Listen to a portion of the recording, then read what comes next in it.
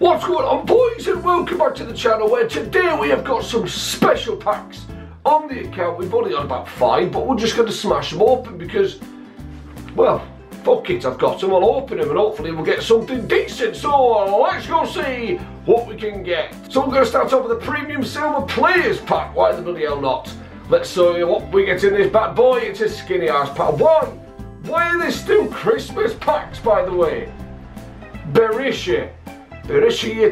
Right, Jumbo Premium Gold Pack coming up next, boys. Hopefully we can get something decent from this bugger. Don't be scared, it's another skinny pack, of course it is. For the love of Jesus, why? For one, the Christmas packs, two, the shit. It's going to be Shirley. Oh, Christ. Good old Shirley. This is the one. Premium Gold Players Pack, boys, you know it. You know this is the one. Get ready! Yay! Here we go! Come on, baby. Ronaldo! He's not a centre midfielder! Oh, Christ, how many bloody times? One day it's going to be Ronaldo and I'm going to have a bloody heart attack. Oh, we do get Raheem Sterling in the same pack, which that could be worse. He's having a bloody blinder this season. Right, Electrum Players Pack, Premium Mixed Players Pack. I don't see a lot coming from these, to be honest. Oh, I should have kept these the team of the year coming out. That was a fat ass pack with nothing through the middle, the bastard. Who's this Brazilian right back? Oh, look at that shite club. Michael. A Brazilian named Michael. Right, here we go. Final pack of premium mixed players pack. They just decided to shuffle one of these up, did they, this year? Bit more money for a year, a few more shitty ass packs with nothing in them. Let's see what we get from this.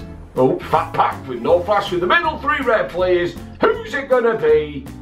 Polish goalkeeper. It's bloody Szczęsny, isn't it? What? A, well, he's 82 rated, but bloody hell. The best we got was an 83 rated. We, we got trolled on Ronaldo. The packs are all bloody awful. Team of the year coming soon, and I've got no FIFA points. Isn't that just fantastic? Now, whether I do decide to put some FIFA points in just for Team of the Year, I don't know.